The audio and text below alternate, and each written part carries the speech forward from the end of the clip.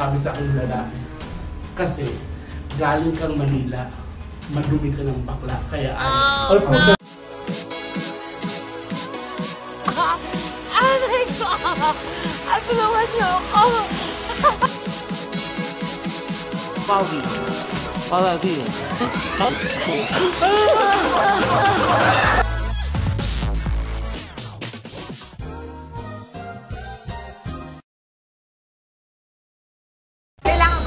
magaling sumubo, Pipit. What? Kasi, kasi kailangan nyo na tayo iwanan. Yung jowa ko, te. Sana! Pwede siya. oh,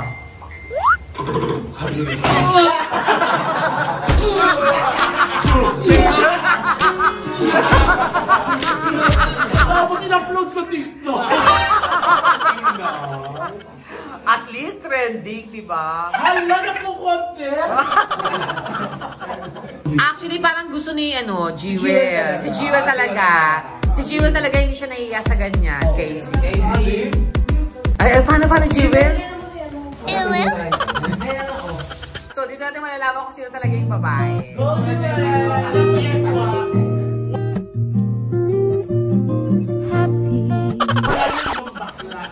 na lasa mo. Milky ang dede. Milky yan? Oo, kasi may black, black rock.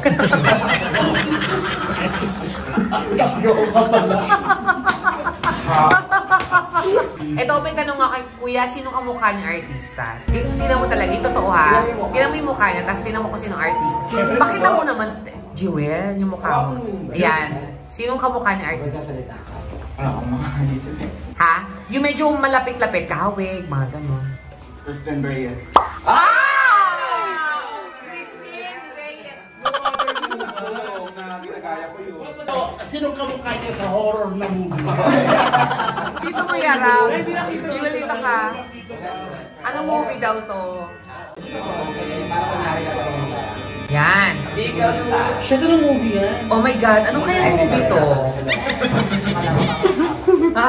Ay! Alam ko si maganda yan ng long hair ako. Yung Oo, oh, diba? Oh my God. Okay, happy. Galing. Totoo ba sa mga ganyang horror, naka-experience ka na? Ano? Aswang? Ano, nang, ano nangyari? Ano experience mo doon? Ay, hindi. Wala. Manananggal. Manananggal? Manananggal? Sa? Bicol. Ay, totoo kasi yung mga sa probinsya. Oo. okay. Hindi kasi sa probinsya namin, may kapitbahay kami. Talagang matagal na babalita yun na manananggal daw. Talaga. Okay. Nararamdaman. Yung mga barkada ko lang sabi na, manananggal na nakikita namin. Eh ako, kilala mo ako, wala ko yung to see is to believe. Ah, okay. So, eh, So, hindi ka naniniwala hanggang di mo nakikita? Eto na, so nag-inuman naman. Punta natin yung bahay ng manalanggal. So mga ano to, mag, mag, mag-umaga na to ah, mga siguro mga 3.30. Yes. Pauwi na galing inuman. So papasok pa lang kami ng talahiban, mga nyugan. Parang nakita namin may, may balabal.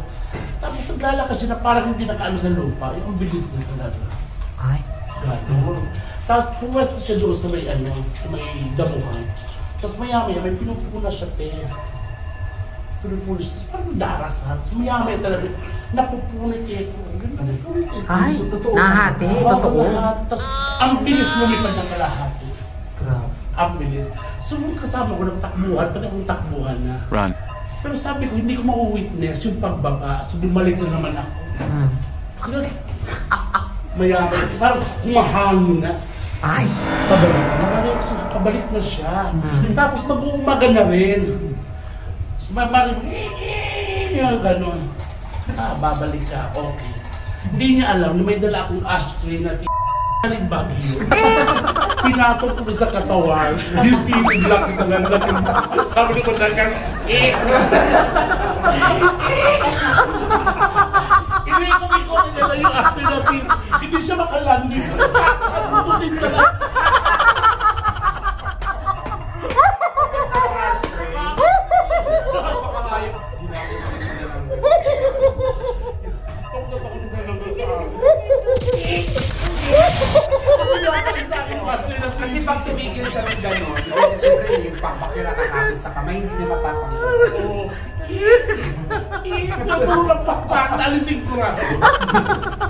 White lady. Ay, meron pa.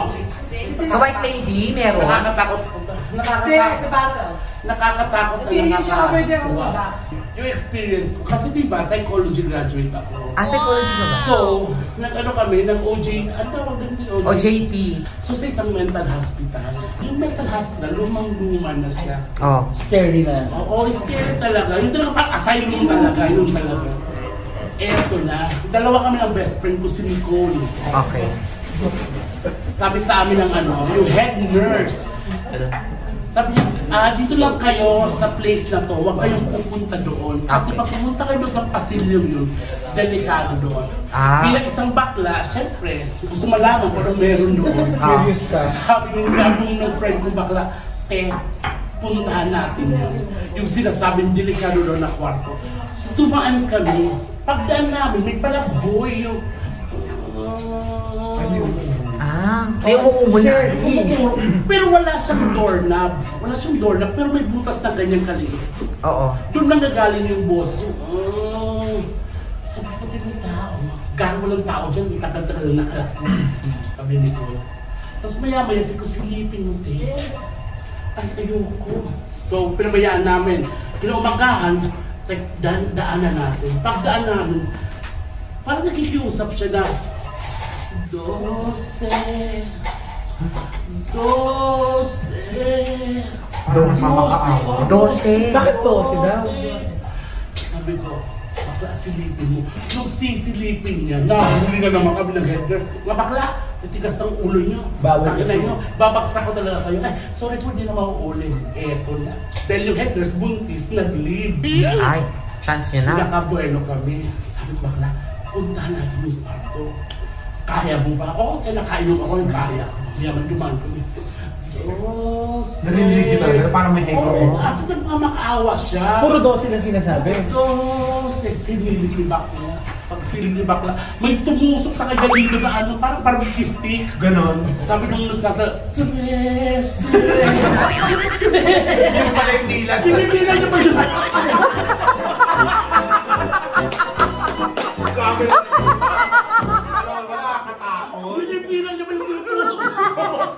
Tres, sabi ni bakla, Aray ko!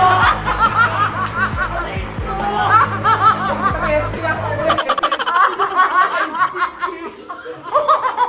Tapos pag tinatanong siya, ba't ka nabulan?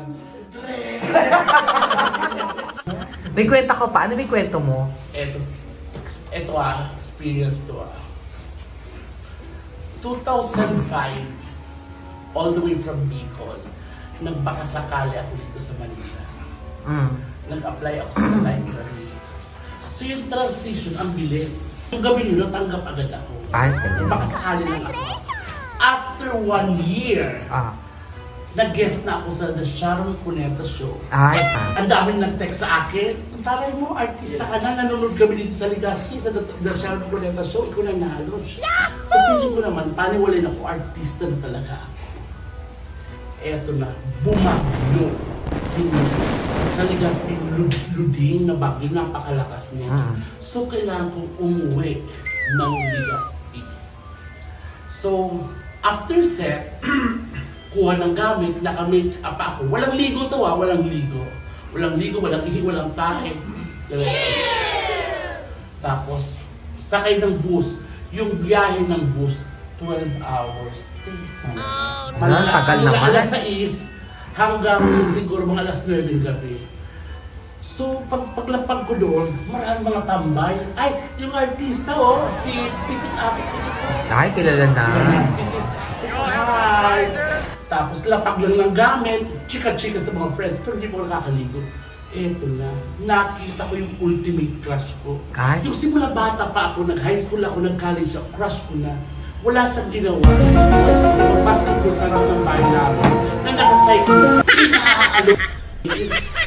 Crush na crush ko talaga yun. Sarap. So nilapitan ko, sila sa tindahan. Ang jowa ano dati, best friend ko, si Janet. Ay. Sabi ko, Jay, kumusta na kayo ni Janet? Sabi niya, wala na kita eh. Sabi niya, nag-break na kami 3 months ago. Pwede na! Kasi ka, nakahanap ng mayaman na hapon. Oh no! Sana, hindi ka na lang umalis. Ay, ay, may ganon. So, then, So, chance na. Eh, painom ka naman. Pagdalasing mo ako, saya ko yung gabi. Ay! Gilabot ko, grabe. Kasi ultimate crush ko yun eh. Hindi ko Oo. natikman ever. Pangarap. Oo. So, kinlabutan ako. Isang order pa lang. Apat na red horse. Kaya apat na red horse. Isa lang iinom. Agad-agad. Eh, Tatlo na yun, ngenge na. Eh, kung yung lalaki.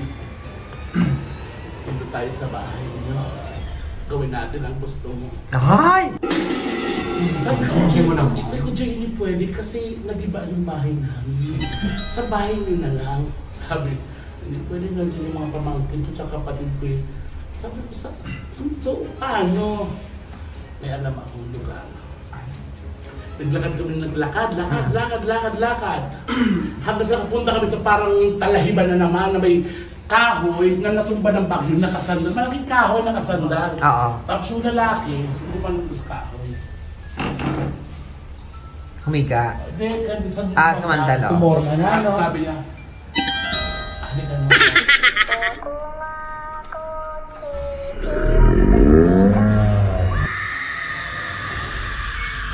taray! Swerte. halik, halik, halik. Tapos, sa, sa may leg, sa may legs, baba. So, binababa yung ulo ko.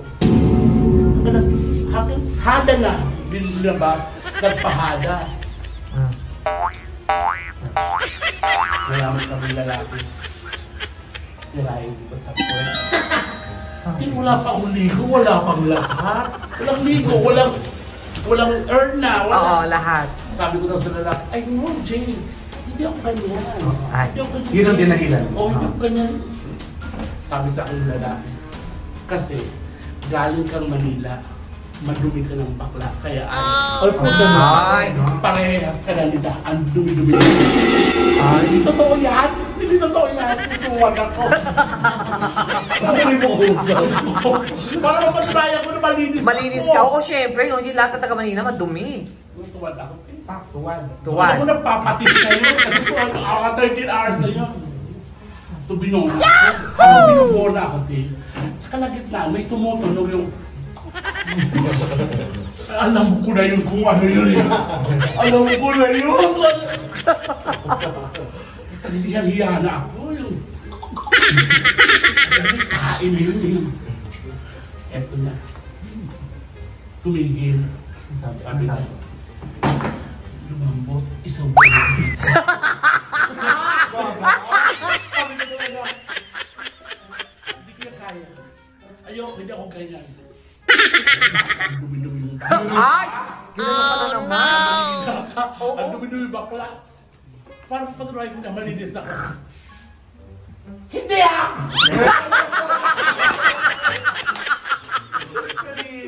Ang pait. Alam mo, ginagawa ko, ang sinusubo ko, namimitas ako ng damo.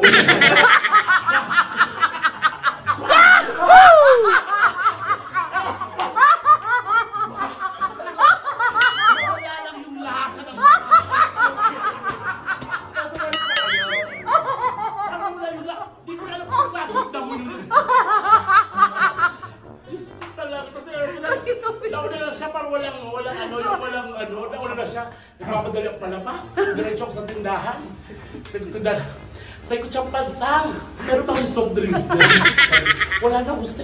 Sabi ko, ice water na lang, ice water. Wala rin. Sabi ko, candy, candy na lang. Wala rin. Yan na lang, toothpaste. Akin lang.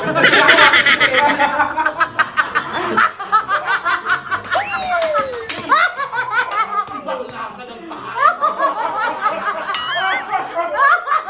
Yung tumatambay dito, Tio. Alam mo ba kinumakaan? Nakaalusan lang. Pag kumakan ako,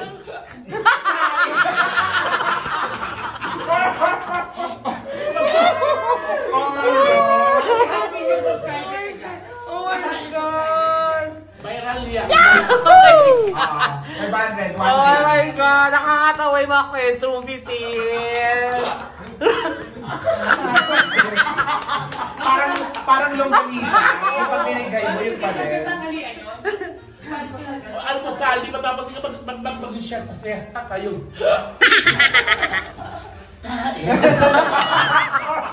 Ito yung kagabi. Ano yun? Powerful ang tayo. May, meron ka pang kwento? Oo. Ay, ano sino yan? Sa best friend ko naman si Nicole. Ano yan? Siya talagang pinakamatapang na bakla na nakilala ko sa buong Ay, pinakamatapang. Bakit? Marami siyang inahamon, inaway, tinalo. Hindi. Ah, ba't mo tayo naging matapang? Eto na. Parehas kami. Ako ang ultimate crush ko si Jay. Ah. Siya naman ang ultimate crush niya si Vern, Bernie. Ah. Bernie ang pangalan. Guwapo yun na nagtatricycle driver. High school. Di ba nauso yun yung ano, yung yung camping-camping? Oo. Boy Scout, Boy Scout. Yung mag-overnight. Ang saya Ah. mo. Oo, mag-overnight. Yung mga lalaking guwapo, na Bernie, nakiusap sa mga bakla, baka pwede kayo na magdala na itong tando ay nalapad. Mm. Tando ay nalapad. Parang kasi kami kakakapan pa kami. Ako yung problema, si may problema. Eto na nakapasok na kami sa campus. Inuman, inuman, inuman. Si bakla tuwang-tuwa kasi kinuman niya yung crush niya. Maya-maya, siyempre nalasing. Tapos nagyaya yung lalaki. Sabi, Nicole, doon tayo sa ano, likod ng social hall. Ah. Sabi ni Nicole, sige. Sabi, ginagano ako ni Nicole yung, sumama ka, sumama ka, sumama ka. Eto na, sumama ako. Maya may naghahalikan yung dalawa. Tapos sabi niya, Si Bernie tsaka si Nicole. Oo. Tapos, ako nagulong sa may ng social hall, ang nakikita ko sila kasi yung, yung ano, yung sa buwan na liwanag, tsaka yung sa poste. So, nagdalaklapan sila. Kaya may, kumano si Bern. Dinabas yung Yahoo! Sabi ko, first time ko. Sige na. Madali lang to. So, pinapachupa ko. Maya-maya, dahil ng lalaki, bigla ito sa puwet. Ay? Ay, sabi ko, ay, hindi, hindi ako nagpapatira sa puwet kasi ano, ilang, ano, 15 anyos pa lang ako, 15 years old pa lang ako. Oh, no! Dadahan-dahanin ko. Mm. Di ba lahat dialogue yung mga lalaki, dadahan-dahanin ko. Kaya ito, pinatuwan si Batla, tuwan. Tuwan. Tapos tinusok Di ba lalaki gago? Pag tinusok, tapos bibiglain yung bigla, si bakla talaga lumuhon. Ah! Di ba lalaki? Tapos tumahay sa harap na lalaki. tumahay sa harap ng crush. Kaya mo yung tumahay sa harap ng crush mo. May nababalita sa amin na tricycle driver ang laki-laki na sabi ni Nicole, bakla umuwi ka na. Ako na lang, akin na lang yun. Ay? Sige, bahala ka. Ay, eto na. Pinamagahan, nagluto ako. May dala akong gulay. Sabi ko sa nanay, Mother, nandiyan si Nicole. Yung nanay naglalaba. Sabi ko, Mother, nandiyan si Nicole. Sabi sa akin ng nanay, eto, walang dialogue ha, tingin lang. Galit. Oh no! Tapos tayo yung galit, nawakan ako. Saan kayo galing kagabi ni Nicole? Ay, Sabi ko, ito po sa labasan. Yung totoo, saan kayo galing? Sa labas, bakit po? Umuwi si Nicole punong-puno ng tae. Tinulugan yung mga tae. Gabi. Hindi ko lang, sinabi punong-puno ng tae. tayo yun. Hindi tayo.